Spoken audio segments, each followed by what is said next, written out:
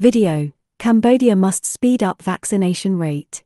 PM Hun Sen has called for continued efforts to fight COVID 19, and especially to speed up the currently slow vaccination rate for the third dose. Online celebrity arrested for defamation, public insult, and incitement.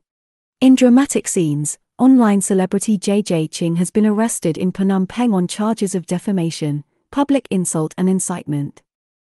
Video no biases and discriminations during election campaigns.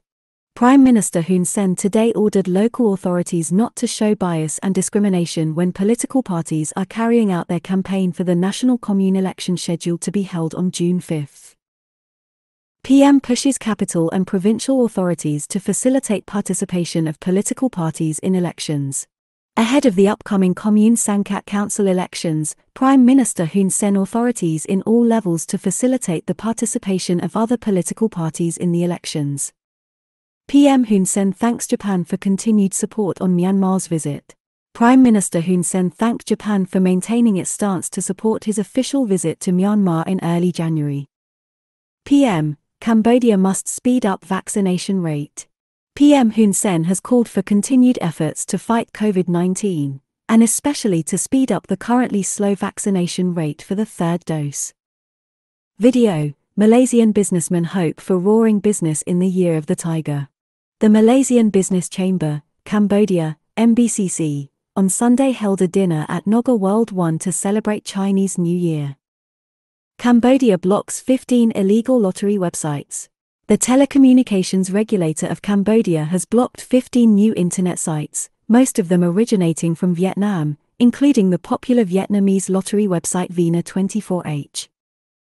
No biases and discriminations during election campaigns. Prime Minister Hun Sen today ordered local authorities not to show bias and discrimination when political parties are carrying out their campaign for the national commune election scheduled to be held on June 5. News headlines of the day, February 16, 2022, Part 1. News headlines of the day, February 16, 2022. To get full contents, please visit www.khmertimeskh.com. Mo continues to push for environmental protection through proper waste management.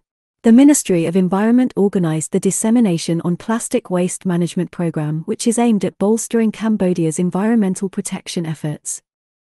Vietnamese national arrested for car theft.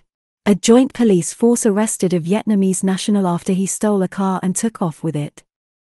12th day of triple digit Omicron case figures for Cambodia as Omicron total nears 4,000. Cambodia today recorded its 12th consecutive day of triple digit daily new Omicron cases as numbers continue to cause widespread worry. Cambodian Red Cross launches online logistics management orientation course for branch executives.